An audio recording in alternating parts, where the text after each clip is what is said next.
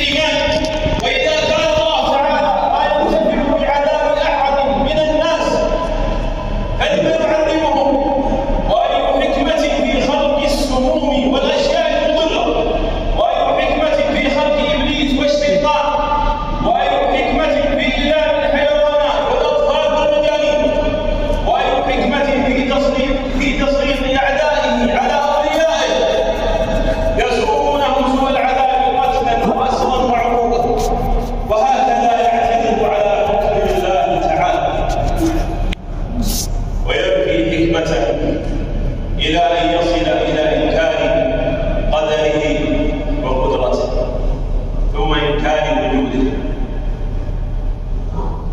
إنها خطوات يتبعها الشيطان.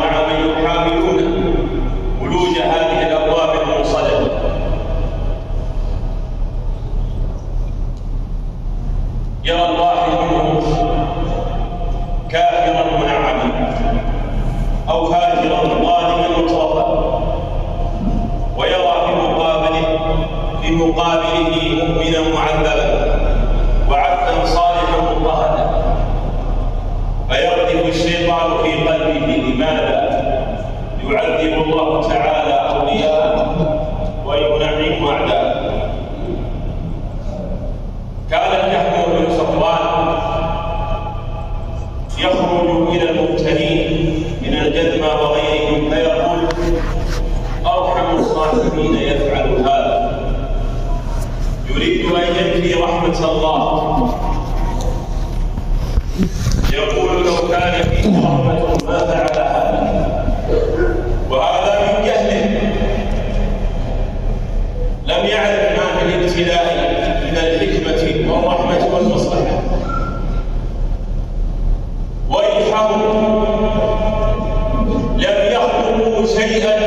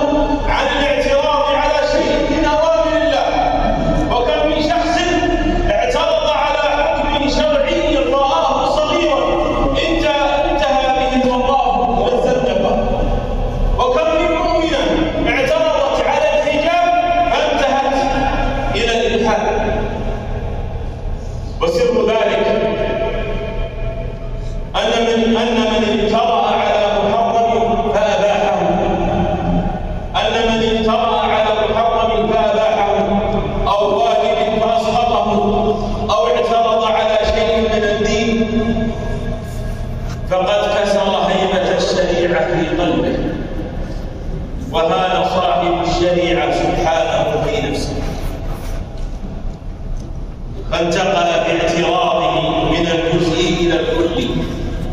وسار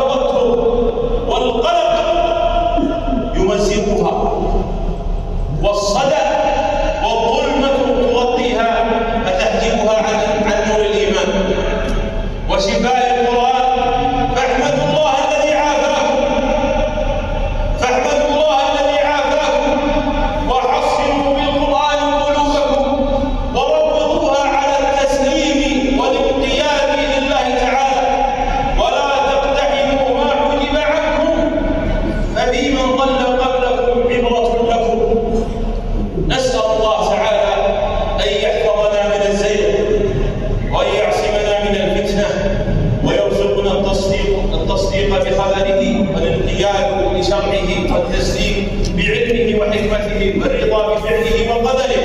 ربنا لا تزغ قلوبنا بعد إذ هديتنا وهب لنا من لدنك رحمة إنك أنت الوهاب.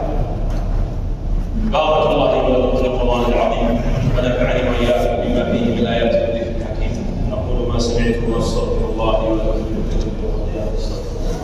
فيا رب السلام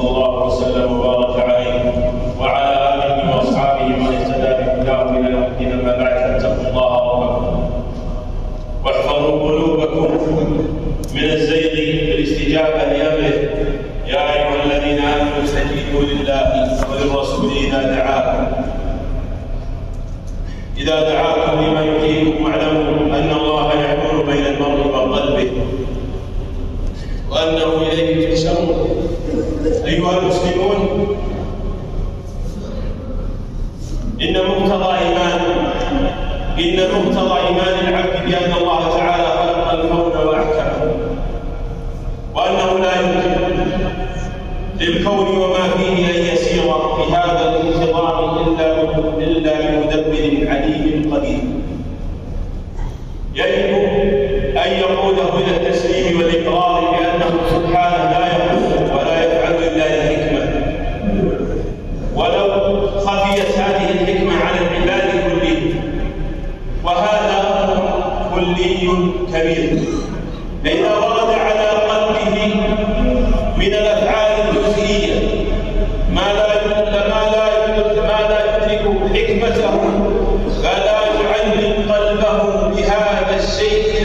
الجزئي الصغير.